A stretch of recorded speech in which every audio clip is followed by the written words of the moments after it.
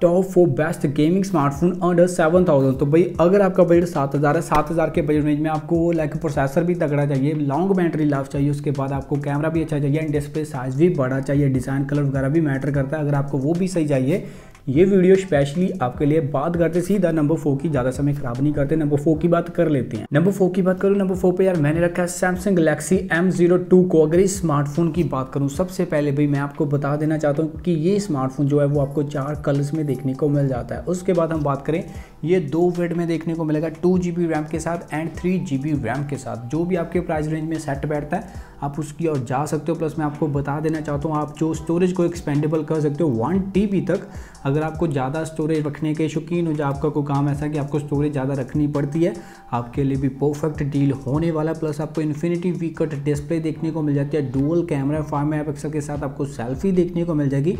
Core core processor आपको देखने को मिल जाता है। फाइव थाउज़ेंड एम की बैटरी मिल जाती है मतलब फाइव थाउज़ेंड एम की बैटरी आपको एक दिन तो नॉर्मली निकाल देगी, आपने जैसे भी यूज़ करना है, जितना भी यूज़ करना चाहते हो, आप इजीली नॉर्मली कर सकते हो। प्लस मैं आपको ये भी बता देना चाहता हूँ कि इसका जो डिज़ाइन लुक है, वो तो आपको अच्छा अच्छी सॉरी मिल ही जाती है उसके साथ साथ इसकी बिल्ड क्वालिटी बहुत ही तगड़ी देखने को मिल जाती है। तो भाई, अगर आपका फ़ोन जो है वो गिर भी जाता तो ये टूटने वाला नहीं है बिकॉज़ इसकी बिल्ड क्वालिटी भी बहुत ही ज़्यादा अपर है। कलर वगैरह मैंने आपको बता दिया, जो जो भी आपको सही लगता है, आप उस कलर की ओर जा सकते हो। अभी बात कर लेते हैं इसके मेन स्पेसिफिकेशन की, थोड़ा सा मैं आपको डीपली बता देता हूँ। तो यार डिस्प्ले की बात करूँ six point five inch P L S L C D देखने को मिल जाती है। प्रोसेसर की बात करूँ, मैंने आपको पहले ही बता दिया कि आपको कॉड कोर प्रोसेसर इसमें देखने को मिल जाता है, जो कि ट्वेंटी एट नैनोमीटर टेक्नोलॉजी के साथ बेस्ड है। बैटरी की बात करूँ, आपको फाइव थाउज़ेंड एम एच की बैटरी देखने को मिल जाती है। कैमरे की बात करूँ डुअल कैमरा मिल जाता है, thirty megapixel plus two megapixel selfie की बात करूँ, आपको फाइव मेगा पिक्सल सेल्फी देखने को मिल जाती है। स्टोरेज की बात करूँ, ये दो मिनट में आता है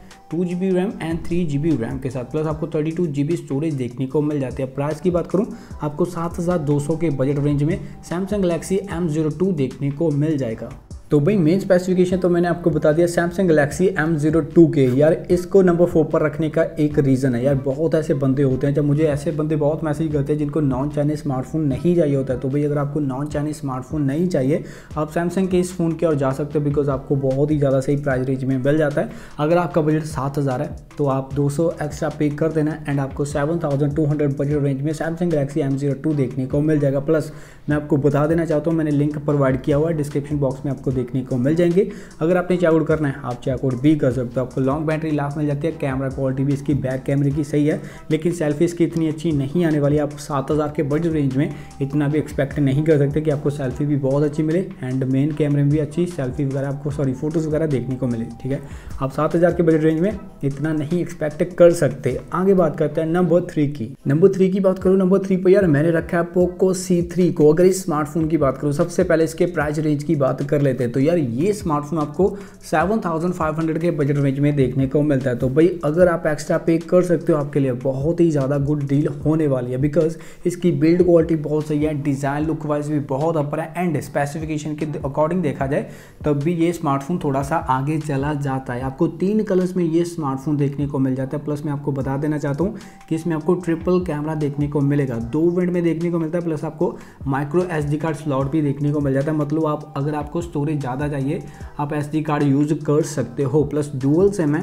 तो अगर आपने डुअल सिम यूज़ करनी है तो भैया आप नॉर्मली इजीली कर सकते हो। तो पोको सी थ्री आपको सही प्राइस रेंज में देखने को मिल जाता। है अभी बात कर लेते हैं इसके मेन स्पेसिफिकेशन की। मैं आपको थोड़ा सा बता देता हूँ डीपली तो डिस्प्ले की बात करूँ, आपको six point forty three inch I P L C D देखने को मिल जाती है। प्रोसेसर की बातों को हीलियो जी थर्टी फाइव देखने को मिल जाता है। स्टोरेज की बातों को थ्री जी बी रैम मिल जाती है plus thirty two G B storage battery की बात करूँ, इसमें आपको सिक्स थाउज़ेंड एम एच की बैटरी देखने को मिल जाती है। सिक्स थाउज़ेंड एम एच की बैटरी मतलब भाई आपका तो एक दिन से मतलब दो दिन भी आपके नॉर्मली निकल जाएँगे। अगर आप ज़्यादा यूज़ नहीं करते तो आपके दो दिन तो नॉर्मली ही निकल जाएँगे। प्लस आपको टेन वॉट का फास्ट चार्जर मिल जाता है। कैमरे की बातों को ट्रिपल कैमरा मिल जाता है। थर्टी मेगा के साथ। सेल्फी की बात करूँ, आपको फाइव मेगा सेल्फी मिल जाती है। प्राइस की बात करूँ, आपको सेवन के बजट में पोको सी देखने को मिल जाएगा।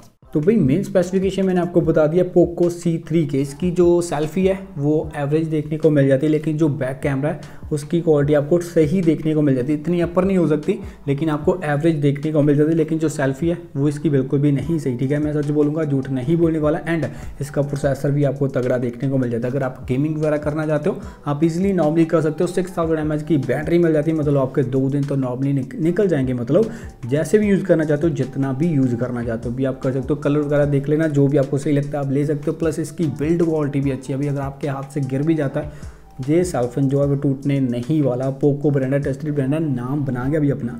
आगे बात करते हैं नंबर टू की। नंबर टू की बात करूँ नंबर टू पे यार मैंने रखा रियलमी सी इलेवन को। तो सबसे पहले बता देना चाहता हूँ यार, इसका लुक बहुत ही ज़्यादा अपर है। अगर आपको लुक मैटर करती है डिज़ाइन मैटर करता है, आपके लिए परफेक्ट डील होने वाला है रियलमी सी इलेवन आप इस स्मार्टफ़ोन की ओर जा सकते हो। इसकी स्पेसिफिकेशन की बात कर लेते हैं। तो सबसे पहले भी मैं आपको बता देना चाहता हूँ कि दो कलर्स में देखने को मिलता है। दोनों कलर इसको बहुत ही ज़्यादा सूट करते हैं। जो भी आप कलर लेना चाहते हो, आप ले सकते हो, लेकिन मुझे ग्रे कलर में ज़्यादा सही लगता है। आप देख लेना, जो भी कलर आपको पसंद आता है, आप उसके ओर जा सकते हो। आपको 6.5 इंच का एच प्लस डिस्प्ले देखने को मिल जाएगा। डुअल कैमरा है, ठीक है? फाइव मेगा के साथ आपको सेल्फी देखने को मिल जाती है, जिसपे आप टेन पर वीडियो रिकॉर्डिंग कर सकते हो। प्लस मैं आपको बता देना चाहता हूँ, इसमें भी आपको मीडिया टेक हीलो जी देखने को मिलेगा, जो कि ट्वेल्व नैनोमीटर टेक्नोलॉजी के साथ बेस्ड है। तो यार 12 नैनोमीटर टेक्नोलॉजी के साथ बेस्ड है तो आप गेमिंग कर सकते हो ईजिली नॉर्मली कर सकते हो, आपको कोई भी इशू प्रॉब्लम नहीं आने वाला।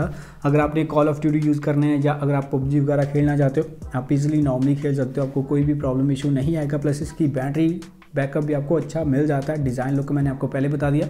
कि आपको ऊपर मिल ही जाता है। तो भी अगर आपका बजट सात हज़ार है, आप इस स्मार्टफ़ोन की ओर जा सकते हो। बहुत ही ज़्यादा गुड डील आपके लिए हो सकती है। आगे बात करते हैं नंबर वन की। नंबर वन की बात करूँ नंबर वन पर यार मैंने रखा इन्फिनिक्स स्मार्ट फोर प्लस को। तो सबसे पहले भाई मैं आपको ये चीज़ कह देना चाहता हूँ कि इसको नंबर वन पर रखा है। ऐसा बिल्कुल भी नहीं है कि ये नंबर वन पर है तो बहुत ही ज़्यादा अच्छा है।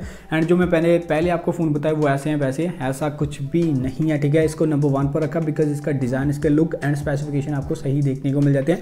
जैसे बाकियों में देखने को मिलते हैं, वैसे ही इसमें भी देखने को मिलेगा, कोई ज़्यादा डिफरेंस वगैरह नहीं है, ठीक है? तो आपको मैं बता देना चाहता हूँ कि ये चार कलर्स में देखने को मिलता है एंड ये स्मार्टफ़ोन चारों ही कलर में बहुत ही ज़्यादा सूट करता है, ठीक है? तो अगर आपने जाना इन्फिनिक्स स्मार्ट प्लस की और भी आप जा सकते हो। मैं आपको ये भी बता देना चाहता हूँ, जो कि इस फ़ोन की खासियत है, एक प्लस पॉइंट आ जाता है कि आपको फिंगरप्रिंट भी देखने को मिल जाता है फेस अनलॉक वगैरह भी देखने को मिल जाता है, जो कि सच में एक प्लस पॉइंट आ जाता है। तो इसमें आपको सिक्स थाउज़ेंड एम की बैटरी भी देखने को मिल जाती है, जो कि आपके दो दिन तो नॉर्मली निकाल देंगे। एंड इसमें आपको मीडिया टेक का प्रोसेसर देखने को मिल जाता है जो कि ट्वेल्व नैनोमीटर टेक्नोलॉजी के साथ बेस्ड है। तो भाई, अगर आपने गेमिंग वगैरह करनी है, आपके लिए भी परफेक्ट है। मल्टी करना चाहते हो आपके लिए भी परफेक्ट डील हो सकता है। तो भाई मेन स्पेसिफिकेशन मैंने आपको बता दिया इन्फिनिक्स स्मार्ट फोर प्लस के। तो यार, इसके स्पेसिफिकेशन थोड़े से ज़्यादा अच्छे हैं, जितने भी मैंने आपको स्मार्टफ़ोन बताए। बिकॉज़ आपको प्रोसेसर अच्छा मिल जाता है सिक्स थाउज़ेंड एम की बैटरी मिल जाती है, अच्छे कलर अच्छा डिज़ाइन एंड जो डिस्प्ले का साइज़ है, वो भी आपको बड़ा देखने को मिल जाता है सात हज़ार के बजट रेंज में।